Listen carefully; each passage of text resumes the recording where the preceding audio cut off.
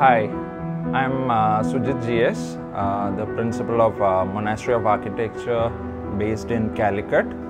Um, and I'd like to take you all through the spaces of my house. This is in Calicut, just in the uh, town itself. Um, so while we started off with the design, one of the primary concerns was that we wanted our house to be filled with light. It had to be one with nature, surrounded by a lot of greenery, with a lot of natural light and ventilation coming in. And those were the some of the base concerns that we had.